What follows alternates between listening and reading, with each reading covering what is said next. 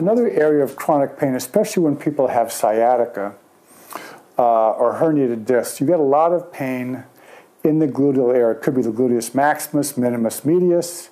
It can be the gemellus. It can be the rotators. It could be the obturator, internus and externus, the piriformis.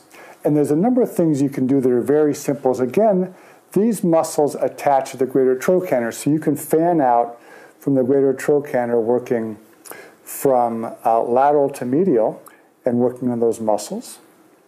You can also, of course, then go across the muscle doing kind of friction with your elbow. Of course, you can use your knuckles, but usually those muscles are so deep, there's so much fascia here, that it's better to use your elbow. Is that okay? It's not too much for you? Okay. And of course, you can also go along the uh, lateral edge of the sacrum, but in general, if you work from the greater trochanter medially, and from superior to inferiorly, you will find that takes care of almost all the problems that could be there in those many hip rotator muscles.